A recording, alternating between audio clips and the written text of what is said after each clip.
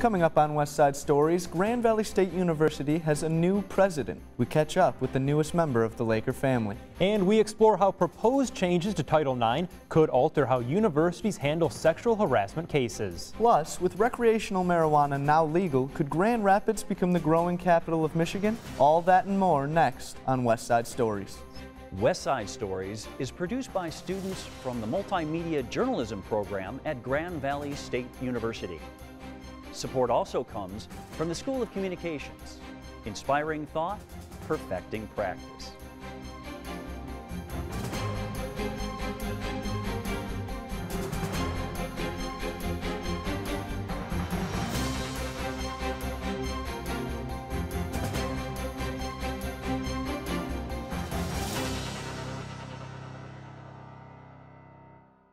Welcome to West Side Stories. I'm Preston Anakusky. And I'm Elliot Perpich. Grand Valley State University has a new president. GVSU's Board of Trustees has appointed Philomena Mantella as the university's fifth president. She'll take over for retiring President Thomas Haas in July. Reporter Linnea Martinez caught up with GVSU's new president as she met the Student Senate for the first time. I'm absolutely humbled and thrilled to be elected Grand Valley State University's fifth president. Philomena Mantella is currently the vice president of Northeastern University in Boston, but in less than a year, she'll be replacing President Haas as the first female Grand Valley State University president. What drew me is I think it's really student centered at its heart. Um, it has a strong experience. You drew me and I mean that quite frankly because I was interviewing you as well as you were interviewing me. Mantella sat down with members of the Student Senate to have an open discussion about what they want in their community. Students were able to ask questions and get some answers. I'm curious to know um, your prioritization about sustainability and resource management. Yeah.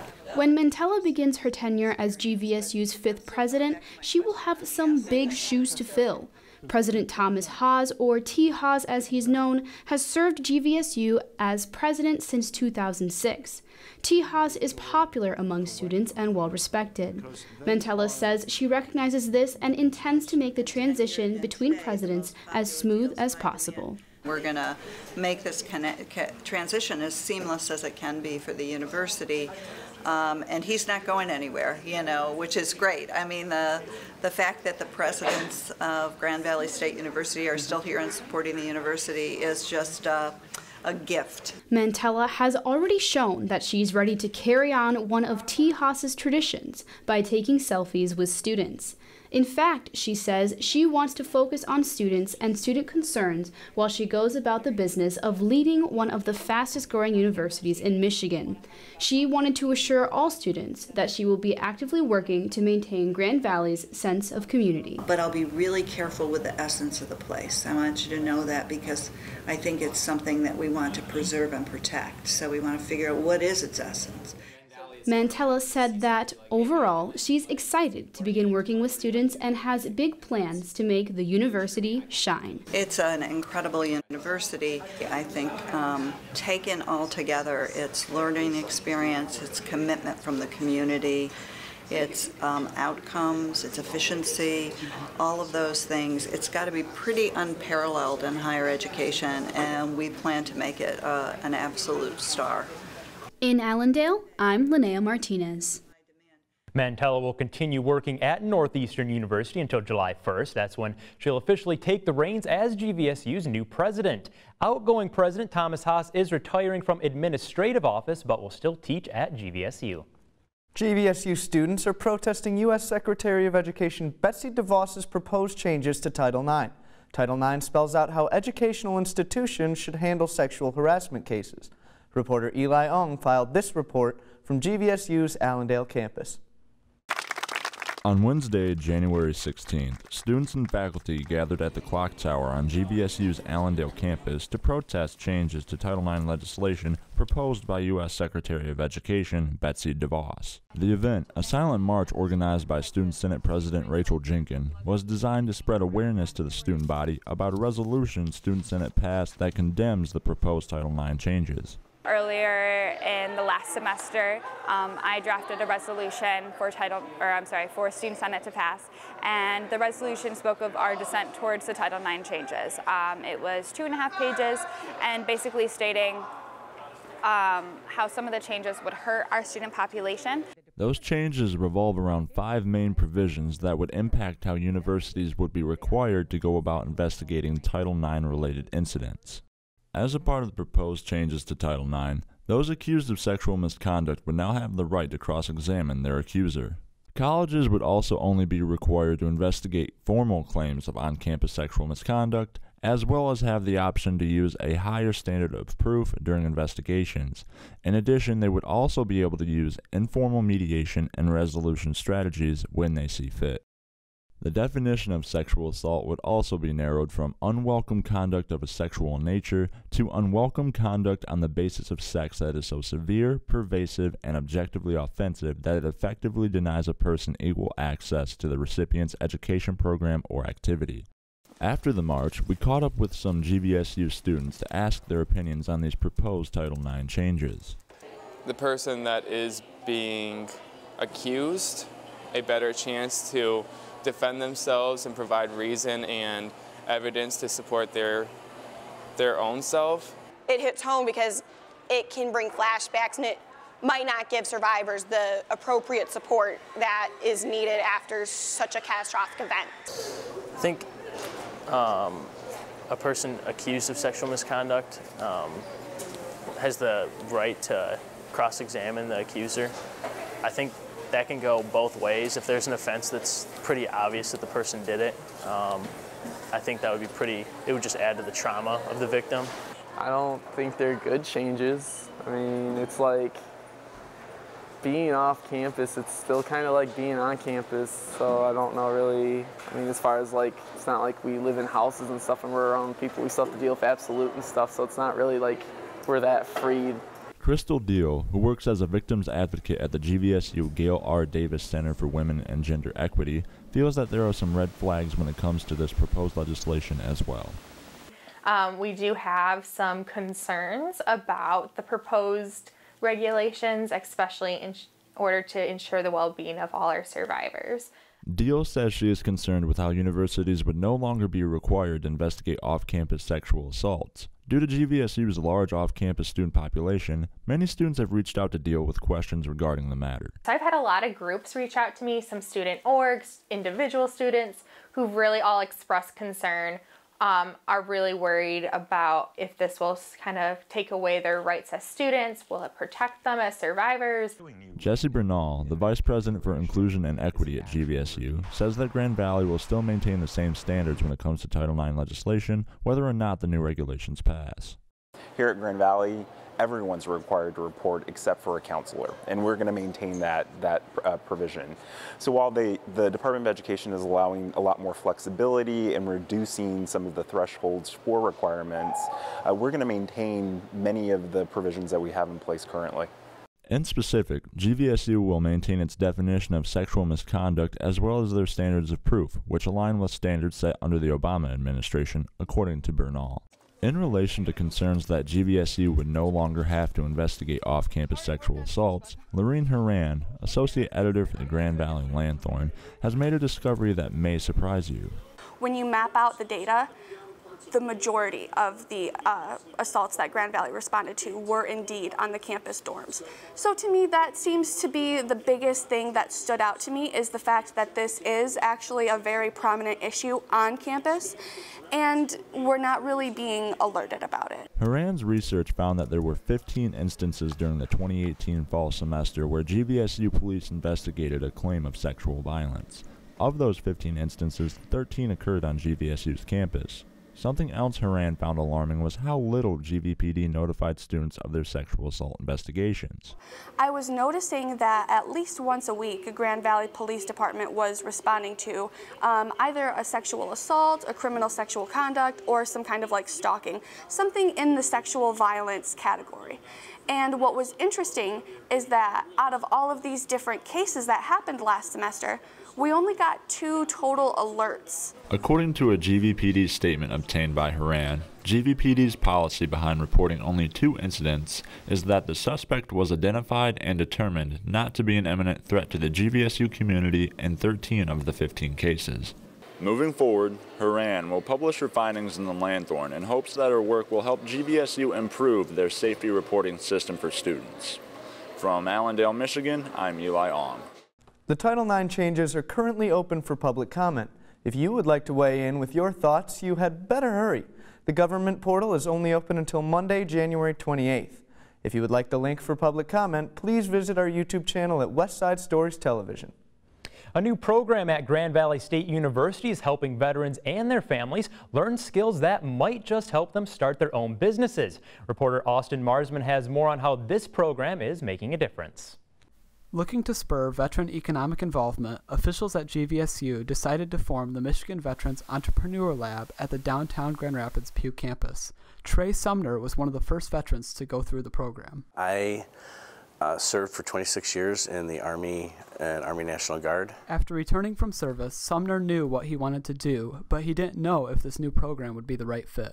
I, I didn't know if I was the right fit for the program, but overall, I learned so much about the nuts and bolts of what you have to do. I'm, I'm really good uh, at the boots on the ground stuff that I do. Julie Cowie is the project manager for the MVE lab, and as she explains, it's all about giving veterans the tools they need to be successful. And it's really designed to help those people who have a startup idea or who are interested in entrepreneurship discover what they need to do to start up successfully.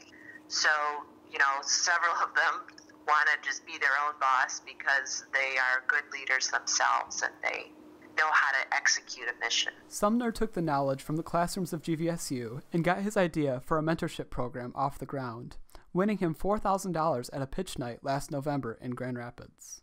ACES stands for Awareness, Compassion, Equity, and Strength. And what it is is a mentorship program for young men to give them the tools, the permission, and the freedom to be able to develop and demonstrate a healthy masculinity.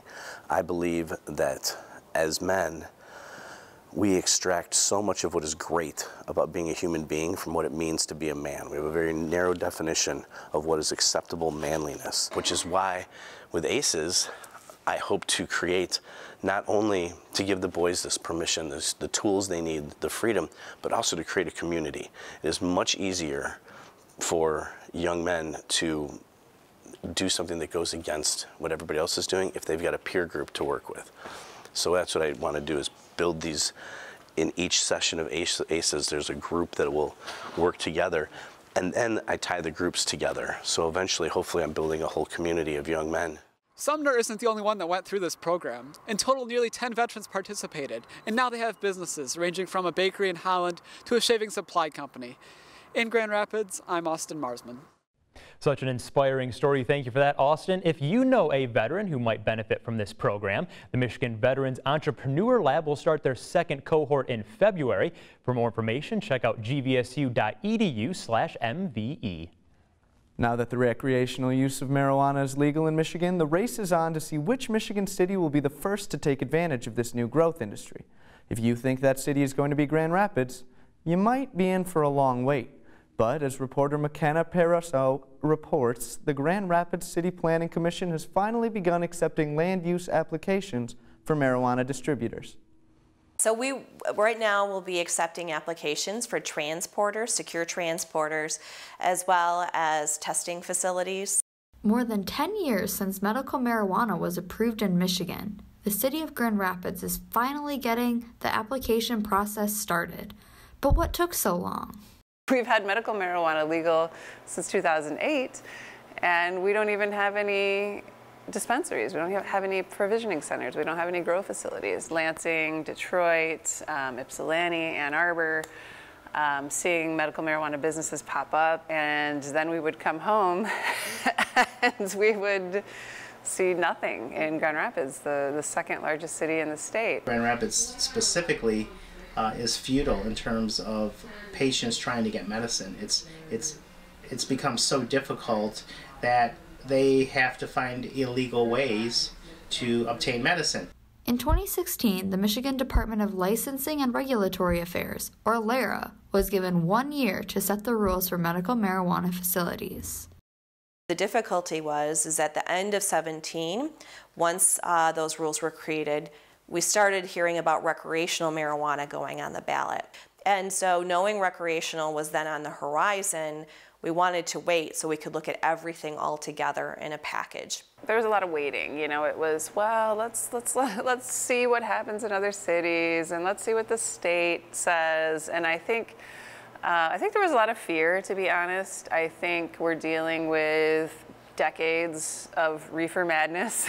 While the rules may be set for medical marijuana, LARA still has another year to figure out the rules for recreational. So they have until December of 2019 to make rules for recreational marijuana facilities. So no recreational marijuana facilities will be licensed until this time next year, it's likely, depending on what the rules are. Even with another year out, the zoning restrictions for marijuana facilities are already having an effect on the city's growing industry. The city spent a lot of time listening to a lot of concerns, listening to a lot of advocates, and came up with some zoning requirements, some application requirements. However, the zoning is so restricted to just a couple of, a, few areas. And this is one of the things that we, we tried to warn the City Commission is the, the fewer the properties, A, the prices are going to skyrocket, right? Uh, we're seeing real estate that are in these zones go up three times in value prices have gone up two to three times what the value of the land might be uh, based on speculation and people wanting to go into those spaces. So we're expecting that marijuana facilities will be located a thousand feet from schools, churches, daycares, places of worship, and rehabilitation facilities.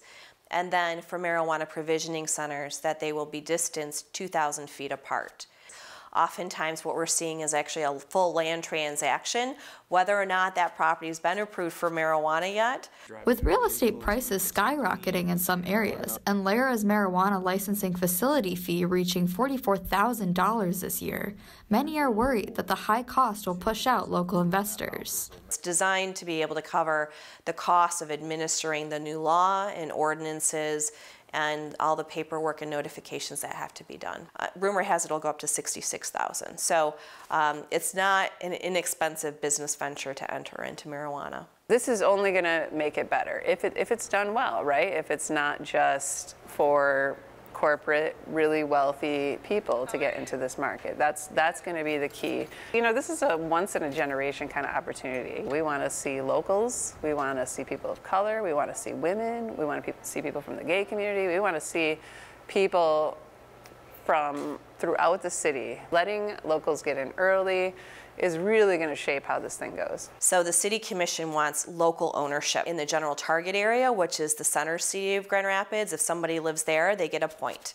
Uh, if they live in the general city uh, as a whole, they get another point. If they live within Kent County, they get a point.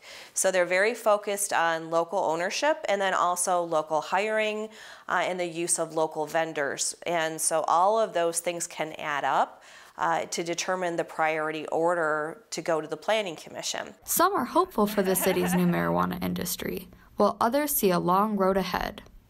The problem is, is that there are so few dispensaries. The state has not been very good at implementing this program. There have been three dispensaries in particular have been opening and closing on a regular basis because they open for a short time and the city comes in and closes them down. The same people who are going to handle uh, recreational marijuana, which is LARA. And to me, uh, I, I, don't have any faith in them. Mm-hmm. I see just another 10 years of, of absolute absurdity. We'll see construction activity. I don't know if you'll see businesses open. Uh, it really depends on the amount of workload that the state has. I, I think it could change our city for for the better, um, which is why I worked so hard on, on the proposal. I have I have huge hopes for the new leadership. We're in a new day between Prop 1 passing and between uh, those two fantastic people being at the top of, of our government. Uh, I, I couldn't be more optimistic for 2019. In Grand Rapids, I'm McKenna Pariseau.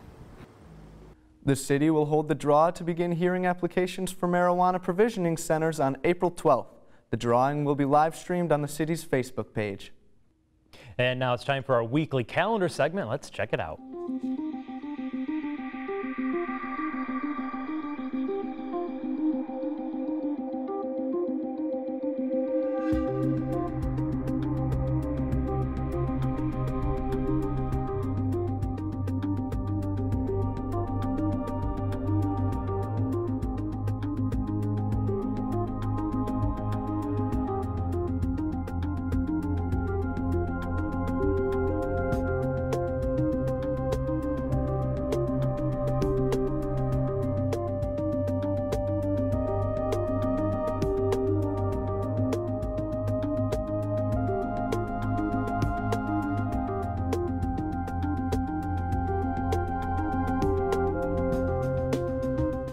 According to an article posted in Financial Times, Americans spend on average around $1,100 a year on prescription medication. Reporter Savannah Bressman shows us how one Grand Rapids shop is trying to change that by promoting an alternative approach to medicine. It just does everything good for your body while relaxing you. That was Ricardo Shanina, owner of Kava Kasa. According to some reviews found on Yelp and Google, Kava is something special. Here's what some people had to say. I was sold the minute the barista explained what this miracle plant does. It almost makes you feel like you had a nice glass of red wine without the drunk feeling. I love kava. It helped me with my anxiety and my focus. These claims seem pretty bold, so we decided to check it out.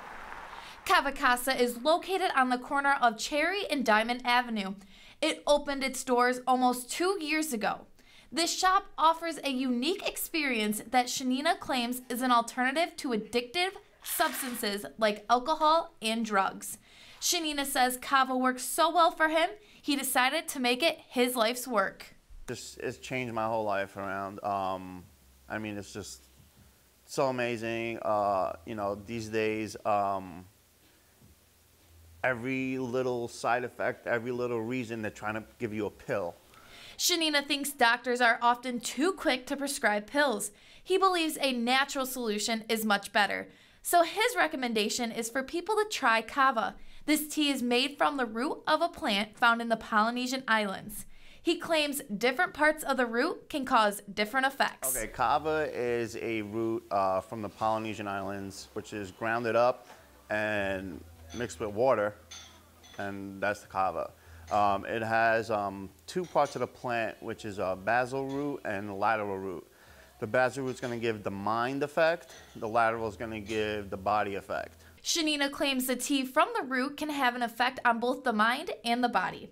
And according to users, that effect feels a lot like being drunk without consuming any alcohol.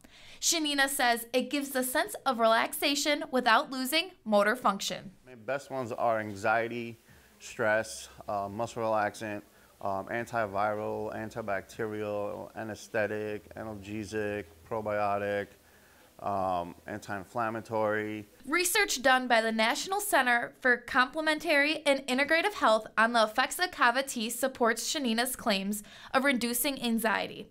And customers like Brianna Tabbitt would agree. I would say that it's definitely calmed me down. Um, I'm not so anxious all the time, um, and it's made me a lot more social um, and a lot more happy.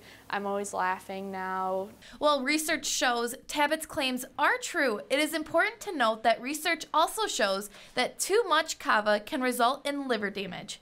The taste of kava itself is very earthy. Shanina and Tabbitt say that adding milk or sweetener helps the tea taste better. And the container for it is put the kava in a strainer bag, so let it soak for five to 10 minutes. And you just kind of squeeze it out. You could totally drink it, but I'm not a big fan of the natural earthy taste, so I like to add sugar and milk in there. Shanina says that for users to get the full effect of kava, you need more right away. So he suggests drinking the liquid fast. Users say that no matter how you choose to drink your kava, you will experience the same side effects, meaning your tongue and mouth will go numb. It was such a weird feeling because it completely numbs your mouth. Um, and then after that, I just felt absolutely relaxed. Kava Kasa is open seven days a week, and Shanina says that no matter if you are having a bad day or are experiencing an anxiety attack, Kava is able to benefit everyone. Everybody has those ruminating thoughts, just, you know, getting through the day. Life is difficult. So this just, it just helps them get through the day more relaxed, more at peace, um, more focused. Whether kava's your cup of tea or not, you can only find this one of a kind experience right here. Reporting in Grand Rapids, I'm Savannah Bressman. And if you're interested in checking out Kava Kasa, it's important to know that they do not serve anyone under 18 without parental permission. This is because of the strong effects of the tea. And that is all the time we have for this week. I'm Elliot Perpich. And I'm Preston Kuski. We'll see you next week. West Side Stories is produced by students from the Multimedia Journalism program at Grand Valley State University. Support also comes from the School of Communications, inspiring thought, perfecting practice. Música